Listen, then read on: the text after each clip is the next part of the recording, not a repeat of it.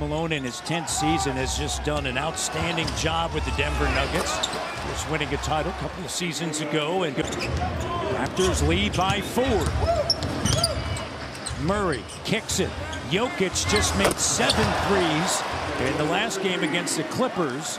Great energy from R.J. Barrett to start this game. First of a three-game road trip for the Denver Nuggets. Here's Murray spinning, knocks it down. And two draw fouls because you're confident now you're going to go there and something good's going to happen. Jamal Murray with it.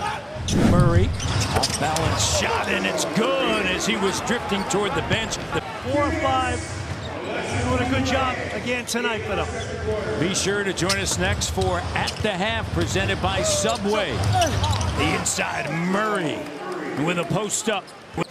11-7 differential in terms of the foul calls, so it's okay. Got to be the better team.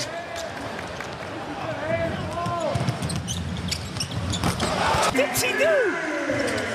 Hurdle with his first double-double of the season, had 20 last season. Murray on a post up.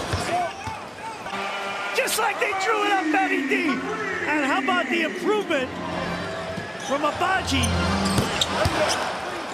Porter with it. That's where you chase him off the line here. No home run balls. Get Seven on the clock. Get into him.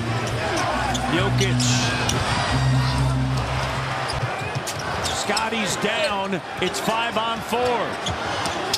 Underneath, Westbrook lays it up and in. Scottie gets up. And play the percentages. RJ's on the ball. Off of the inbounds, Jokic. Jokic flips it up and through. Murray with it. Eight seconds. Jokic, five seconds.